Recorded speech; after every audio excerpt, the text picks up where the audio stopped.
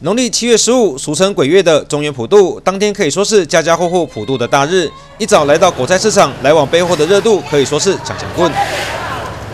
今天菜较贵呗？啊，较较贵，较贵啊！嘿。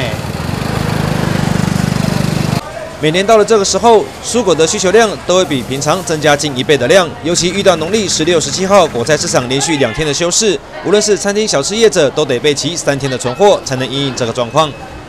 没有什么差别的，啊，不会因为台风价钱拉高或降低吗？台风目前还没有什么影响，差不多赶惯了。没归就管哦。没，因为这是菜枯啊。依据市场菜商的备货量，至少比平常增加到两倍之多。虽然台风台美来袭，不过台东果菜市场产区内的根茎类菜价持平，没有明显的波动。容易受天候影响的番茄、黄瓜、四季豆，预期涨幅也在百分之十五以内。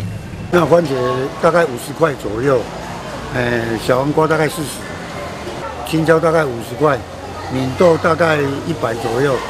那今天的涨幅大概在百分之十五左右。对啊。